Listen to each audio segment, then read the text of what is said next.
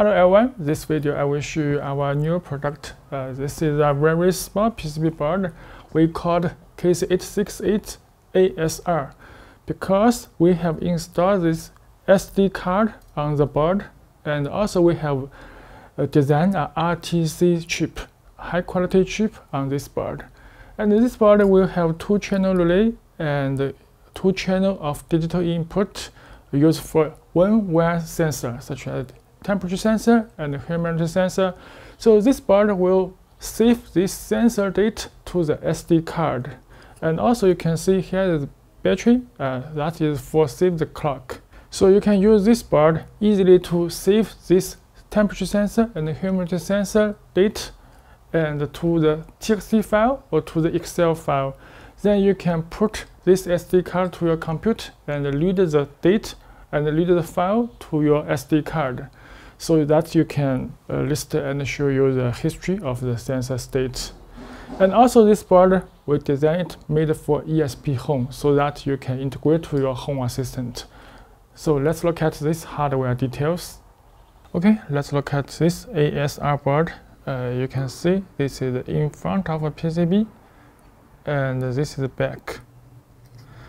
Let's look at these details. That is ESP32 module and here we can see that we have V power supply, uh, power and ground, and it's T1 and T2. So this T1 and T2 you can connect with the temperature sensor DS18B20.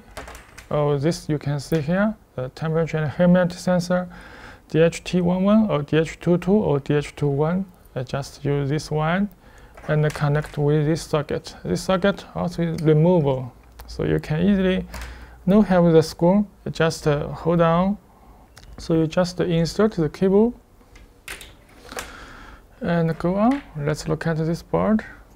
And you can see here that is 3 volt and ground. And this is for your USB for download. And these two button. One button is for ESP32 reset, and one button is GPIO 0 with the ESP32. So you can use your code uh, for your own functions.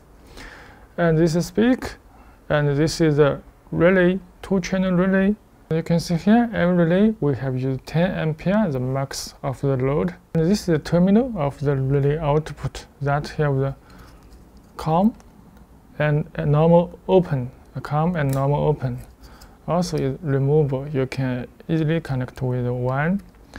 And this is micro SD card, so you can insert the SD card to this socket uh, to save your sensor data or save your history data. And you can see here the battery. The battery is save the time clock because you can see here we have added this high quality RTC chip that DS3231 chip uh, for the clock. That is very good uh, for the time schedule functions and for your project to write any Arduino code. We have designed this board and set for this plastic shoe. So you can see here, and this box also can support install on your DIN rail, just like this way. You can see I can input this board and close this board and you will see uh, this is for sensor and this is for USB type C and this is for relay output terminal and this you can see that the SD card, you can insert the SD card or get out the SD card. And this you can print your own logo or own text on this on this plastic shell. So you can see just like this or this position, you can install to your power distribution box. Okay, uh, this is KC868 ASR board and hope you make your own home automation project. Thanks for watching.